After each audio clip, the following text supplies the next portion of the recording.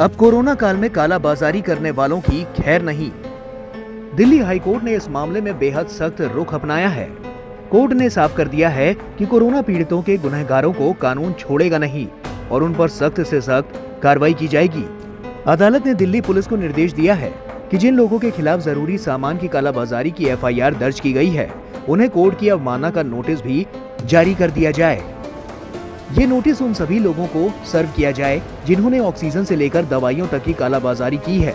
Court ने ऐसे आरोपियों को वीडियो कॉन्फ्रेंसिंग के ज़रिए अदालत के सामने पेश करने का निर्देश दिया है।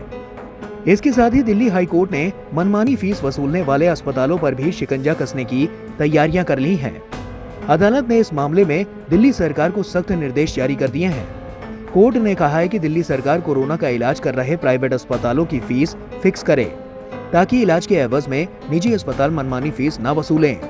अदालत ने इस मामले में दिल्ली सरकार को भी कटघरे में खड़ा कर दिया है और पूछा है कि अब तक आपने ऐसा क्यों नहीं किया। आपकी इस ढिलाई की वजह से कुछ प्राइवेट अस्पताल मनमानी कर रहे हैं और मरीजों से ज़्यादा पैसे वसूल रहे हैं। उम्मीद है कि कोर्ट की इस कार्रवाई से कोरोना पीड़ितों को जमीनी स्तर पर कुछ राहत मिलेगी और कोरोना के खिलाफ दिल्ली की जंग मज़बूत होगी।